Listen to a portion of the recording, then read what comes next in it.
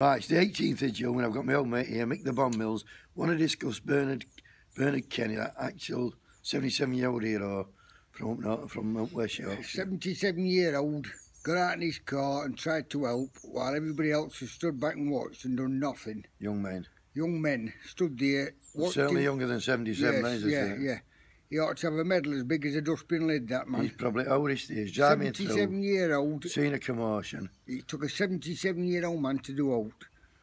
Yeah. I'd be, I'd, I, I just can't believe people can can just stand about watching something like that happen. Oh, we're still pretending it's not happening. Yeah, I can't believe and it. And then when the face TV it. cameras out, they're saying, oh, I heard him shout. I heard him, and he, and he, walked, and he just walked off. He just yeah. walked off walked while off. everybody stood there watching. Yeah, he wasn't even a big bloke.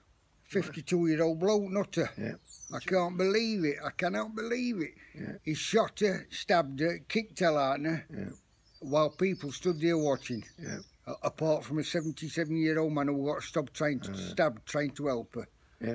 Uh, I, I mean, that's that's that's society today. That's society, but that bloke, he wasn't just any old bloke, mate. He was actually... An ex-miner. Ex-miner, but also he'd done, he was a, a mines rescue man and he'd helped out at Lofthouse Colliery yeah. disaster.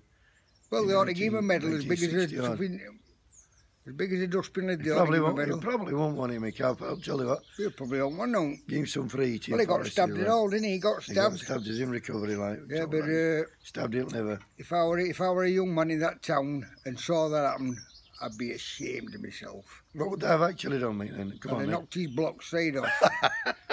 yeah, yeah. I'd have hit him that hard, I'd have busted knuckle. I'd have broke his neck. Yeah, yeah, that's what I like I to can't hear. believe people, I, I, I, honestly can't believe people can that's stand there. That's a sad world we live in, mate. It's a cruel world, a young it's a woman, sad world. A young woman about shoving nine stone wet through five uh, foot. No. have been six or seven of them kicking shit out and one. They might have jumped in and out. What's the language, Mick? Well, I've told you before. I would have stopped it because he started swearing. Right.